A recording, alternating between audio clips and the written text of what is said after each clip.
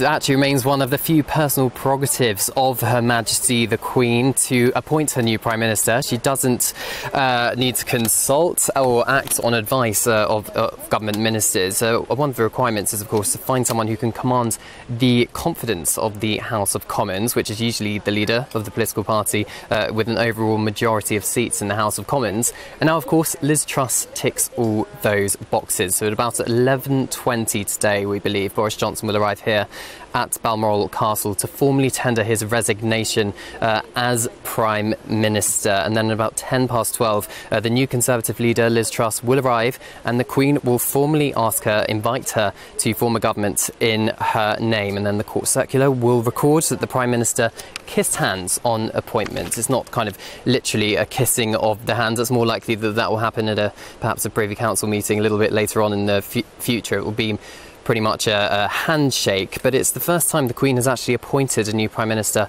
at Balmoral. It usually happens at Buckingham Palace. We believe the original plan was for Her Majesty to interrupt her summer break and make the around a thousand mile round trip back to London to appoint her new Prime Minister. But plans changed last week, and that is, uh, as we understand it, to provide certainty for the Prime Minister's diary. So we know that Her Majesty has been suffering from uh, mobility issues recently, and I think the idea was, according to a source, that if her plan had been to travel to London and she woke up this morning and was struggling with her movements, then last minute plans would have to be made for the Prime Minister to travel up to Balmoral uh, to be appointed. Now, it's not without precedent that uh, uh, that, it, that this this kind of ceremonial event happened uh, not at Buckingham Palace. The Queen's great grandfather Edward VII actually appointed one of his prime ministers in France because he didn't want to uh, interrupt his summer break. And Alec Douglas Home, the Prime Minister in 1963, uh, tendered his resignation from his hospital bed because he was too ill to travel to Buckingham Palace